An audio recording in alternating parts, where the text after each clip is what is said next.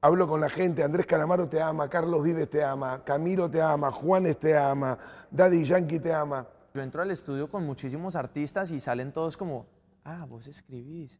No tenía ni idea. Ah, sabés. Ah, wow, sabes lo que estás haciendo. Yo pensé que simplemente te parabas ahí y, y todo ha sido como. Que eres una ah, cara linda sí. cantando. Es que mira esta Bueno, cara. tan lindo, tan lindo no soy, sos, tan lindo, no no- soy. Estamos, somos 8 y 8. 8.5. No, mentira, 8.5. mentira, 8, 8, 8. Bueno, pero, pero pero ¿de dónde- uno, gana, uno gana con el carisma. Obvio.